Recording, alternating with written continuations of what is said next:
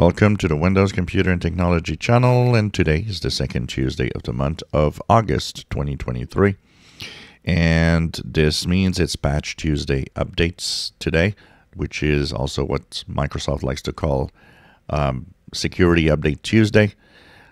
Of course, these are patches to fix security flaws within Windows and different products of Microsoft. Um, one thing to note is that the updates um, really installed quite quickly uh, this month. So I don't know if it's an indication that there's maybe not that many security flaws. But, anyways, we'll be looking at that, of course, uh, with more detail in an upcoming video today.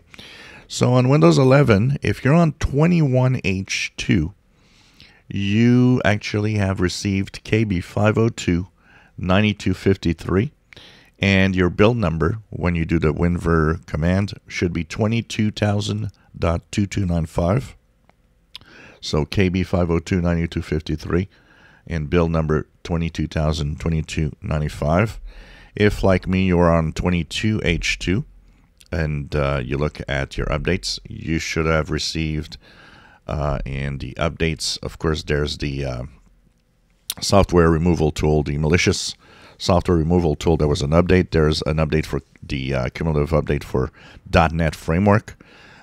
But uh, for 22H2, you could see here it's um, the update KB5029263 uh, that is updating your system on 22H2. And if you look at the WinVer command, if you look at the bill number, the bin build number for D22H2 should be, as you see here, 22621.2134. So 22621.2134. This is for the Patch Tuesday updates today. So uh, we're gonna check it out, see if there's any critical flaws, any um, you know what's critical, what's important, what's is there a zero day in there. Uh, so we're going to be looking at the different updates uh, as soon as I get all the details. Uh, and not that long ago, and make videos for Windows 10 and 11. So check it out. Mandatory updates, and they keep you safe. These are what keeps really keeps your system safe.